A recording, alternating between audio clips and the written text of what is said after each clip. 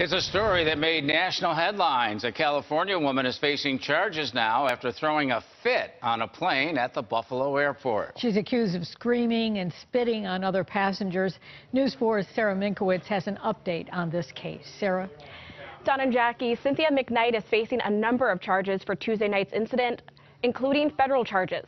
NFTA officials say the list of charges includes harassment, criminal tampering, and resisting arrest.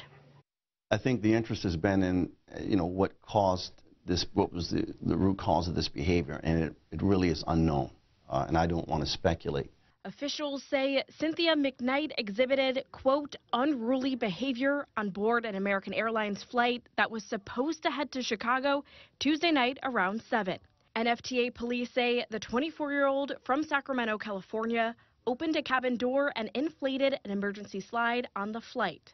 According to witnesses, the passenger became irate while on board and uh, took those actions after um, staff was unable to, to calm her down.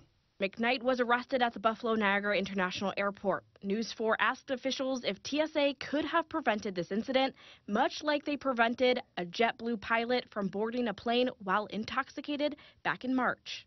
Very tough thing to control um, a human being's behavior in the moment.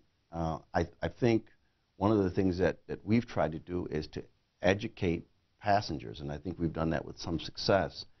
You see something, you say something. So there's a, there's to some degree, there's this uh, um, push to kind of police our own. Between McKnight exiting a plane that was getting ready for takeoff to mask mandates in the airport being lifted and then reinstated 24 hours later, officials at the Buffalo airport have had their hands full this week. Officials say when it comes to mask usage, they're not enforcing it, but educating passengers that masks are required while in the airport. Now, NFTA Police Chief Brian Patterson says several agencies on the county and federal level are involved in McKnight's case. She is currently held in Niagara County Jail. In the newsroom, Sarah Minkowitz, News 4.